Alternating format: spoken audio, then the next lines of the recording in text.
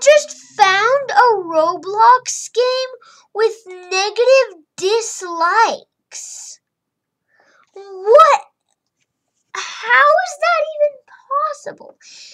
As you can see, it has negative 33 dislikes. I'm not inspecting anything. Look, reload this page. Look, it still has negative 33 dislikes. What?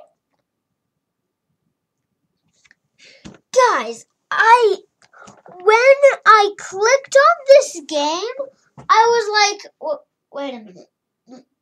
negative 33 dislikes? What? Guys, dude,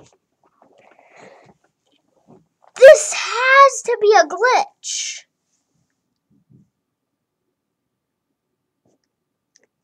How does this Roblox game have negative dislikes?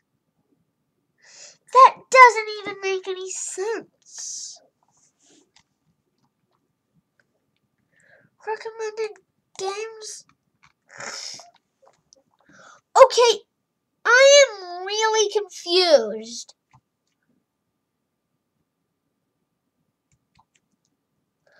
Like, what? Literal how? How? If I dislikes it.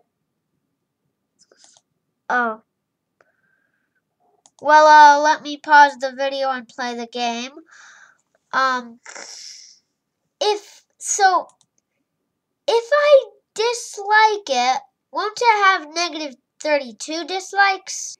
Yeah, negative 32 dislikes.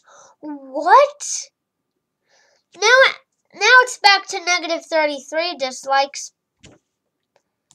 Guys, I I don't know what just happened here. I literally found a Roblox game with negative 33 dislikes.